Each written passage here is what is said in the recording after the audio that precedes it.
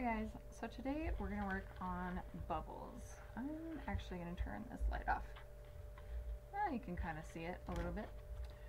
Um, so basically I did an experiment with these bubbles and I wanted to know um, what materials worked the best. So I did a variety of things.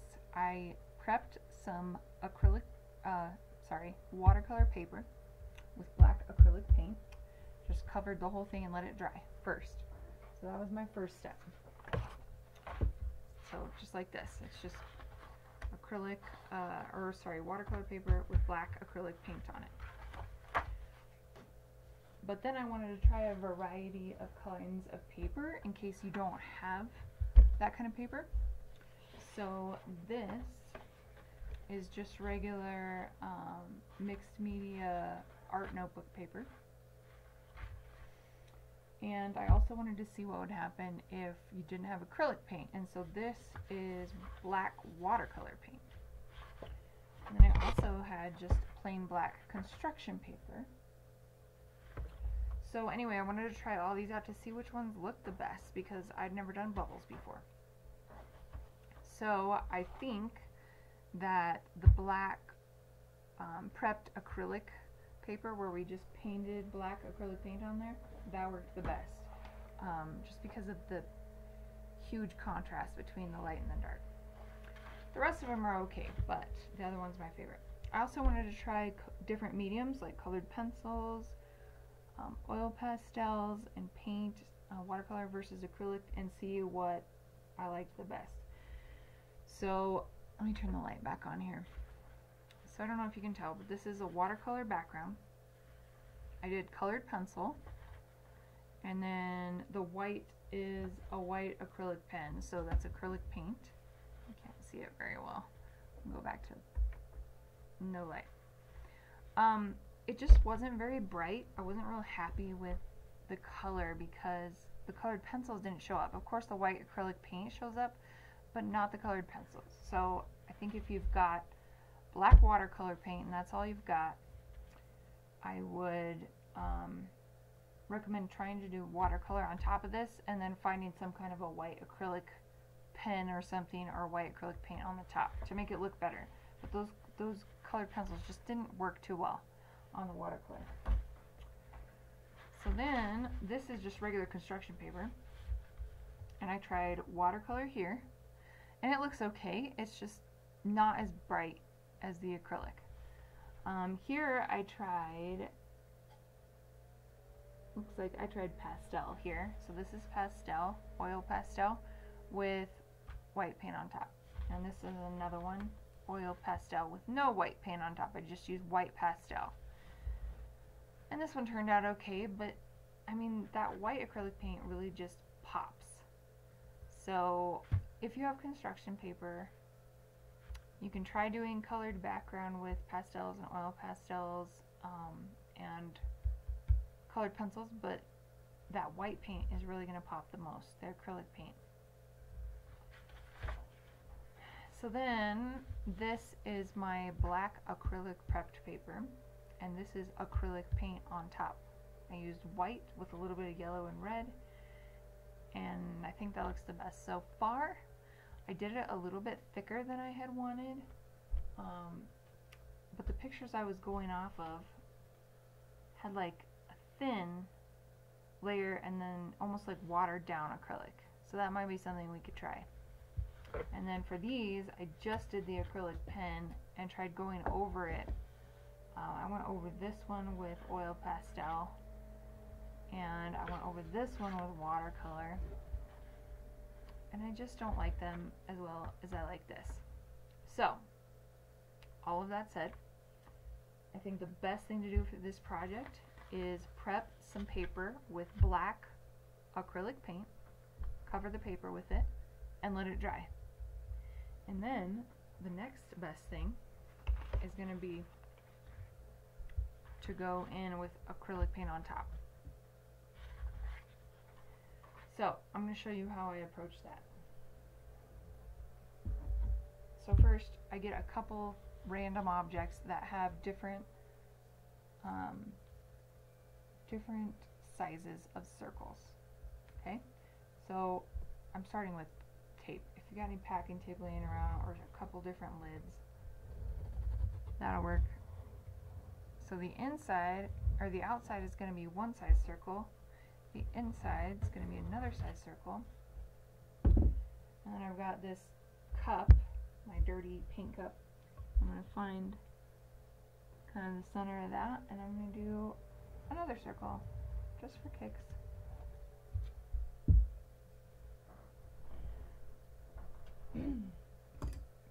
so then I would get you some white paint.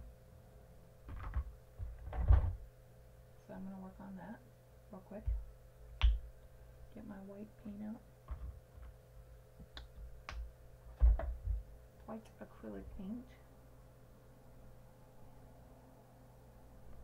Oh, it's stuck. Doesn't want to come out. Um, and then I would get some a variety of colors. You can use whatever you want, really. I used red and yellow on these, but I think if you use blue, it would look nice too. So maybe I'll try blue this time. A little dab of blue and pink. Maybe I'll do blue and pink this time. I've seen that on a few of them, and they look really nice. Ooh, too much white everywhere. Oh my goodness. Okay, then I'll get a tiny brush. So whatever brush you have that's kind of small. And we're going to start going over the outside of this circle. Okay?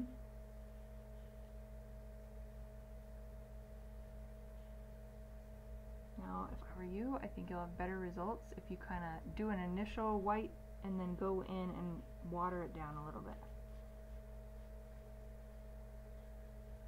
So that it fades. So it's not super duper white.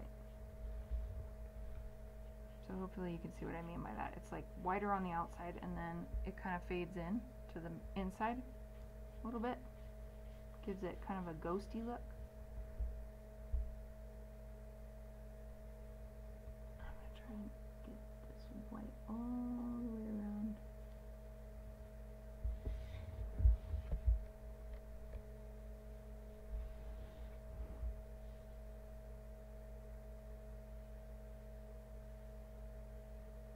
I don't want this to be as thick as the first ones that I did that I showed you though.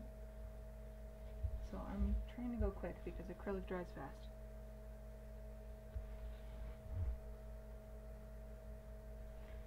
And get in there with some water so that I can kind of spread it. Oh,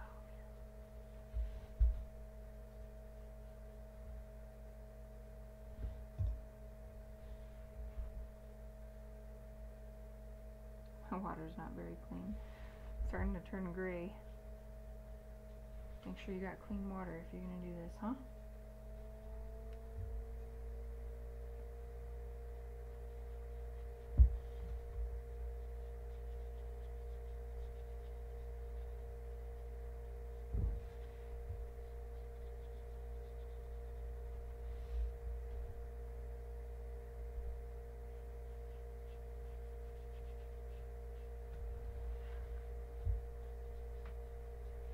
Alright, so I've got this outer bubble going here.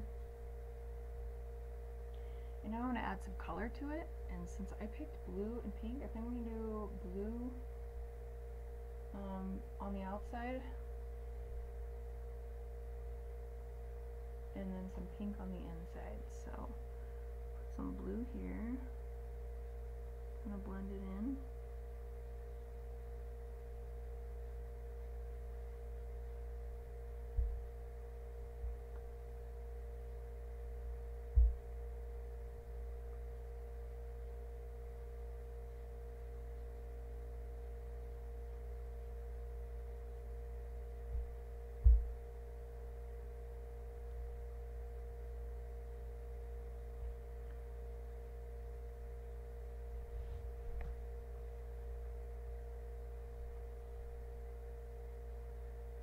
I'm kind of going on that innermost line and the second line to give a couple more lighter streaks of bluish white.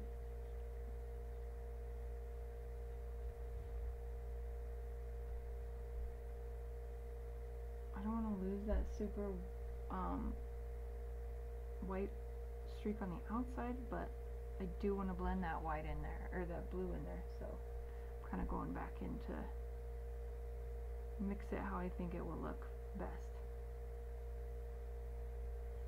So I'm going to put some more blue on the opposite side over here.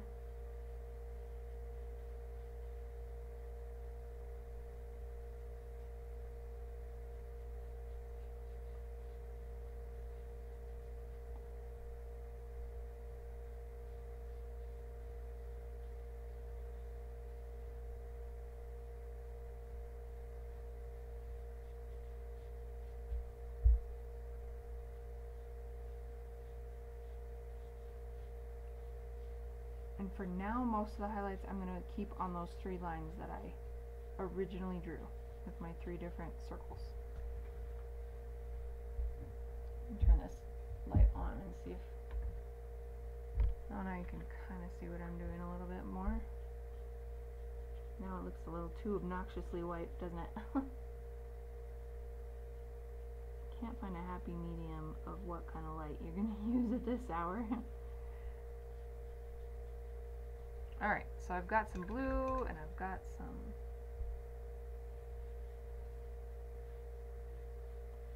white.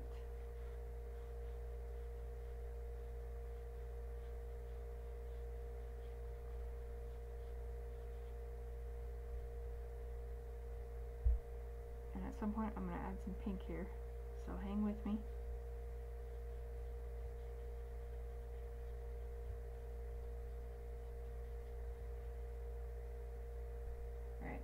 Some pink.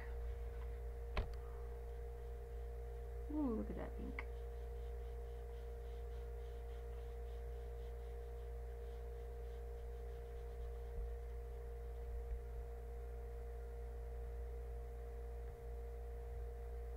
do some pink in between the blue.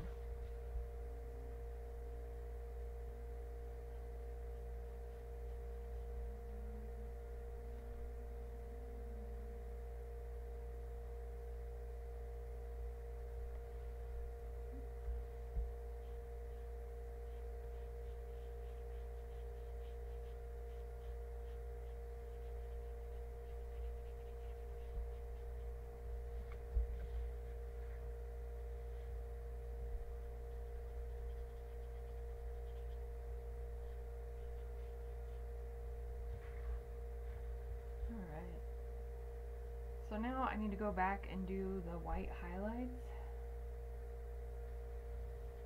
So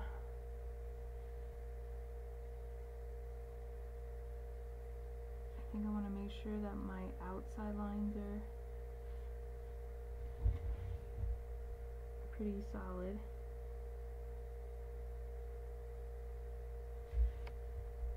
As far as not being bumpy or anything, because I really want it to look round.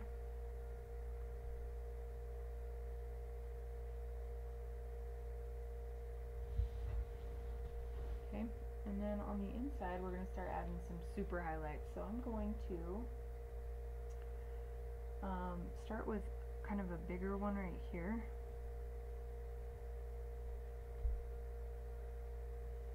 If the color that you did isn't dry, you might need to wait a minute so that you're not mixing it because we want this to be super white. Might even have to go over it again in a minute.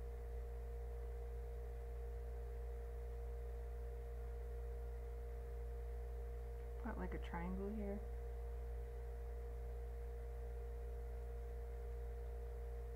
Just to kind of show there could be some lights up in the ceiling that are this shape or something.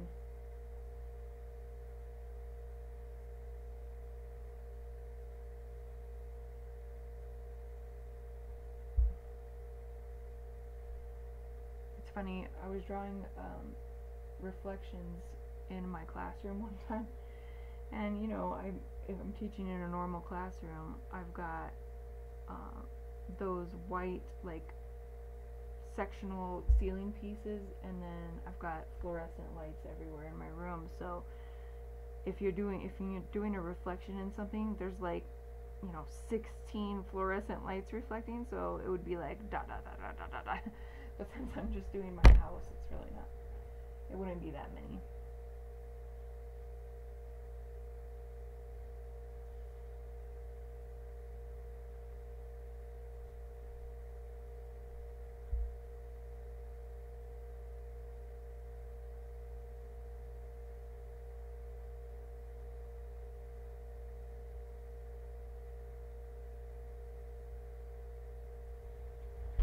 Alright, so that's pretty good, but I'm gonna go back and I can brighten up some of these edges.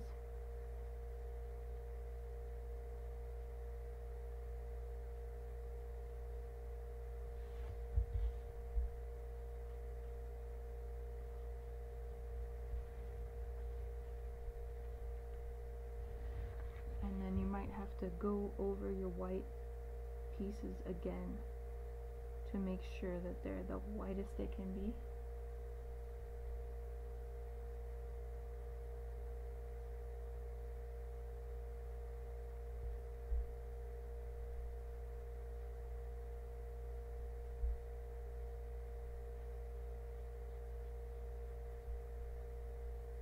Because that contrast is going to make it pop.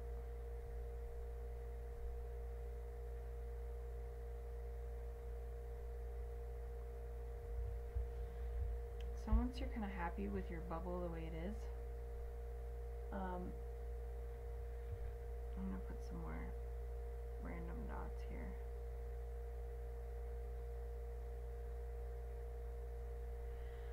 Okay, so now I want to do like a shiny, a really shiny point, like a, like a starburst of shine, like it's catching the light.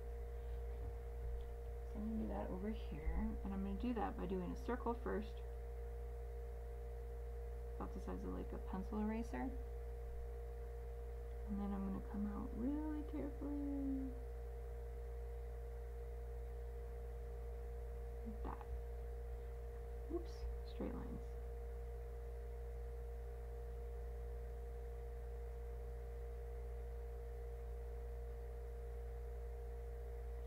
As as I can.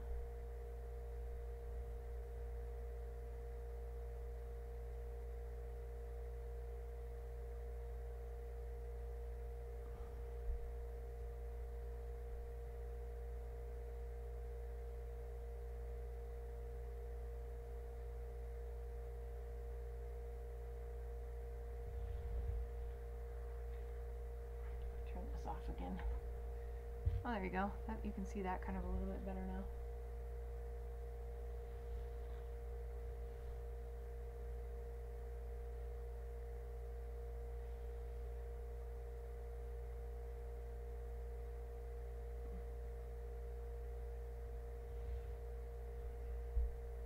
That's going to be even. Alright, so that's gonna be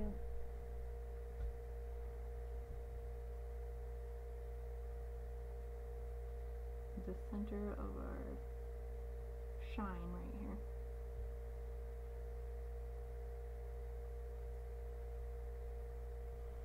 And then if needed, you can go back over that as many times as you need to to get it super, super white. And there we go. We have a bubble. So then, um, my recommendation would to be would be to do some other bubbles overlapping, like go in and draw some other circles, get some smaller things to outline the different cup sizes just so that you have several bubbles. And I would try and do an odd number if you can, um, just because that's more interesting. So there's the final product, acrylic on acrylic. And there's what it looks like with the light on. Woo! Man, that blue really shows up a lot better with that light on. To me, that makes me want to go in and get some more of the blue and just kind of add some more blue because you can actually see it in the reflection there. Add some more blue and maybe some more pink if you want to, just a smidge.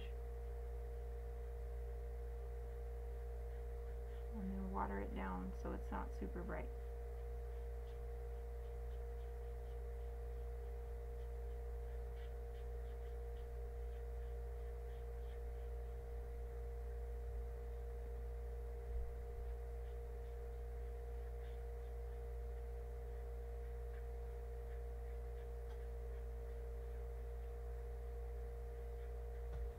There we go.